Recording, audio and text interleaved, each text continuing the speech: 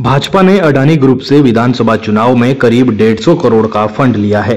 ये बात पूर्व विधायक एवं कांग्रेस महासचिव बम्बर ठाकुर ने बिलासपुर में प्रेस वार्ता के दौरान कही। उन्होंने कहा कि भाजपा लोगों के हितों की बात कर रही है, लेकिन अडानी के खिलाफ भाजपा नेता सड़कों पर आंदोलन क्यों नहीं कर रहे हैं? बरमाना ऐसी फैक्ट्री और अंबुजा फैक्ट्री बंद कर दी। क्योंकि मुझे पता चला है कि विधानसभा चुनावों में भारतीय जनता पार्टी ने अडानी समूह से 150 करोड़ रुपए हिमाचल प्रदेश के चुनावों के लिए फंड के तौर पे दिए और जब भारतीय जनता पार्टी चुनाव हार गई, उन्होंने हारते ही जो है वो फैक्ट्री बंद कर दी कि अब वो मेरा फंड वापस करो, क्योंकि सरकार तो बना नहीं पाई भाजपा। अब हम जे पी नड्डा जी से ये जानना चाहेंगे कि यदि उनसे आपने फंड लिया है तो दो दरवाजे उन्होंने बंद किए हैं फैक्ट्रियों के।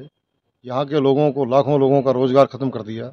नौजवानों को जो नौकरी यहाँ पे मिली थी, उनके पेट में लात मारी जा रही है। आप वोट लेकर के जो है दिल्ली चले गए। और कई लोगों की ट्रांसफ़र यहाँ से जो है, अनियंत्रित जो है दूर दूर की जगहों पे की जा रही है। और भारतीय जनता पार्टी चुप बैठी है। तो जब आपने उनसे फंड लिया है, चुनावों को प्रभावित करने के लिए जगह जगह पे आपने जो है बच्चों को जो है नशे की गर्क में धकेल दिया कोई आप जो नशे की बातें करते थे तो क्या आप अमृत बांट रहे थे? बेतहासा शराब बांट करके और भाँग बांट करके जो है बच्चों को बर्बाद किया गया। अब अब अडानी से जो आपने पैसा लिया था, फंड के तौर पे, उस अडानी की वजह से जो है हिमाचल प्रदेश की जनता, हिमाचल प्रदेश के नौजवान, बिलासपुर के नौजवान, बिलासपुर के ट्रक ऑपरेटर, सारे जो है सड़कों पे आ चुके हैं। और आप और आपका चेला जो है वो महज बयानबाजी दे करके जो है वो इतिश्री करना चाहते हैं।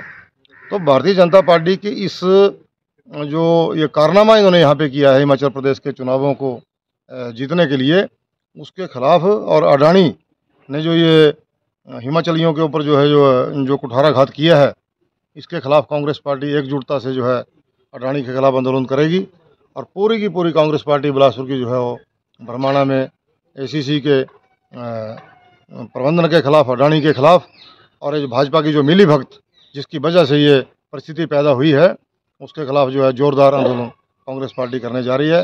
अन्यथा हम ये डिमांड करते हैं और ये मैं नड्डा जी से कहना चाहते हैं कि जो कंधा आपने अडानी को दिया हुआ है, उस कंधे उस कंधे से वो हटाएँ और जो ताले आपकी वजह से वहाँ पे लगे हैं, उन तालों को खुलवाएँ।